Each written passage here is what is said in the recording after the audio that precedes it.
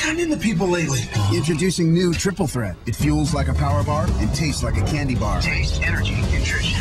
One bite and you'll feel like you can take on anything. PowerBar. Be great.